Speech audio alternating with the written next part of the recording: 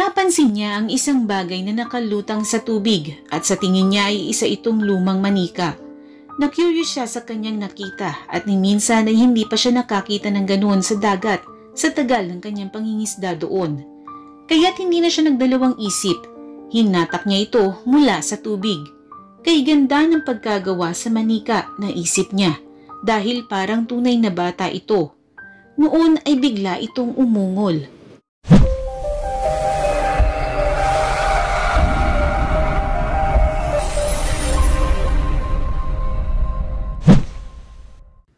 Nagbabakasyon noon si Jessica at Josh sa isang beach. Matagal na nila itong plinano para makapag-relax, makapaglakad sa mainit na buhangin sa tabing dagat at makalanghap ng sariwang hangin. Nag-research pa ang mag-asawa sa internet at doon nga nila nakita ang Murphy's Holiday Camp sa Matata, New Zealand. Nagustuhan nila ang lugar at nagdesisyong doon na sila magbakasyon. Ngunit lingid sa kanilang kaalaman ang bakasyon pa lang iyon ay magiging isang masamang panaginip. Habang papalapit ang araw ng kanilang bakasyon, lalong nagiging excited ang dalawa kaya't naghanda na sila para sa mga kakailanganin nila. Isang araw bago ang bakasyon, ready na si Jessica at Josh. Maagang nagising ang mag-asawa at nagtungo na sa campsite. Pagdating doon ay excited silang nagtayo ng tent at inihanda ang kanilang mga gamit. Pagkatapos ma-set up ang tent, Nagsimula na silang maglakad-lakad sa tabing dagat kasama ang kanilang 18-month-old na baby na si Malakai. Habang ini-enjoy na mag-ina ang tubig dagat, namimingwit naman si Josh at na-enjoy niya ito ng husto.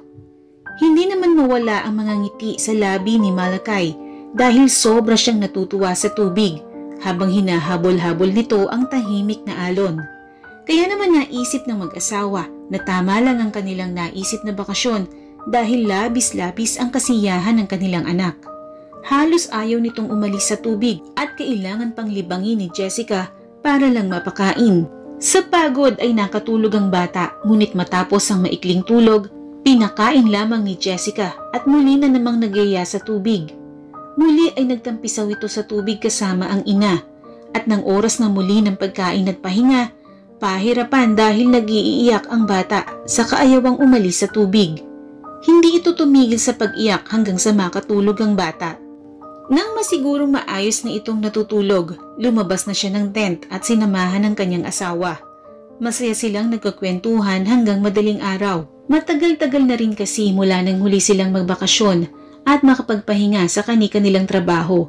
Idagdag pa na mas masaya ang bakasyon nilang iyon dahil may nadagdag na makulit sa kanilang dalawa. Kaya't nag-uumapaw sa kaligayahan ng mag-asawa ngunit lingid sa kanilang kaalaman na isang hindi magandang pangyayari ang gugulat sa kanila kinabukasan. Naisipan na ng dalawa na magpahinga at matulog dahil na rin sa pagod sa maghapong iyon. Kaya naman sa sandaling pumikit ang kanilang mga mata, agad silang nahimbing ng tulog. Malapit nang sumikat ang araw nang magising si Malakay. Tahimik ang bata at nagmasid lamang. Pagkuway binuksan ng tent at lumabas diretso sa dagat. Hindi na ito namalayan pa ng natutulog niyang mga magulang. Tuwang-tuwa ang bata sa tubig hanggang sa palayo na ito ng palayo mula sa pampang. Nang mga oras na iyon ay nagsisimula ng mangisda si Gus Hut sa karaniwan niyang lokasyon. Wala siyang kamalay-malay na higit pa sa isda ang kanyang mahuhuli. Naisipan ni Gus na subukang mangisda malapit sa campsite dahil baka mas marami siyang mahuli sa ibang pwesto. Nang malapit na siya sa campsite, may napansin siyang tila manika sa tubig. Nilapitan niya ito at hindi nga siya nagkamali. Isang ang porcelain doll ang kanyang nakita. Hinatak niya ito at inilagay sa kanyang bangka. Nangingitim ang balat nito ngunit napansin niyang parang tunay na tao ang manika. Maya-maya'y umungol ang manika at ikinagulat niya ito. Tinitigan niya ito at doon niya napagtanto na hindi manika kundi tunay na baby ang kanyang napulot. Agad niyang pinaandar ang bangka at ang tanging iniisip niya noon ay mailigtas ang bata. Binilisan niya ang bangka upang hindi mahuli ang lahat. Kailangan niyang madala ang bata sa campsite. Gumaan ang kanyang pakiramdam nang makitang mukhang maayos na ang kondisyon ng bata. Mukhang labis na gininaw ito sa pagkababad sa tubig, ngunit mukhang okay naman ito kaya't nagulat din siya sa mabilis na recovery ng bata. Noon ay nagsimula na siyang hanapin ng mga magulang nito.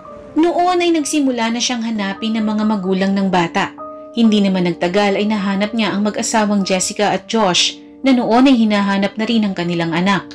Nagulat ang mag-asawa nang malaman mula kay Gus na napulot niya ang bata mula sa tubig, di kalayuan sa campsite at sinabi niyang maswerte ang bata dahil tamang-tama lamang ang kanyang dating dahil kung hindi, baka nalunod na ito ng tuluyan. Pagkadinig noon ay tila hihimatayin si Jessica sa naramdamang awa sa kanyang anak. Maswerte naman si Malakay dahil naging mabilis ang recovery nito at agad na na-discharge ng ospital. Ayon pa sa mga doktor, masasabing isang himala na nakaligtas ang bata. Salamat kay Gus Hutt dahil sa mabilis nitong pagresponde sa bata. Napansin ni Gus ang maliliit na footprint sa buhangin at sinundan niya iyon at sa tansya niya Nasa labing limang metro ang layo nito mula sa tabing dagat. Personal na pinuntahan ng mag-asawa ang bahay ni Gas upang magpasalamat. Hindi naman nagtagal at kumalat ang balita sa social media. Iba't ibang komento ang nakuha ng mga taong involved. Ang iba ay nagpasalamat kay Gas habang ang iba naman ay isinisisi ang pangyayari sa mag-asawa dahil naging pabaya daw ang mga ito. Ano sa palagay mo? Naging pabaya nga ba ang mag-asawa o sadyang tulog mantika lamang ang mga ito? Comment down below para sa iyong opinion.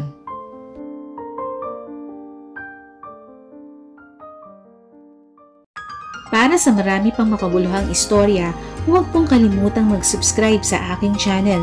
Just press the Storya logo and hit subscribe. Maraming salamat po sa panonood at hanggang sa muli.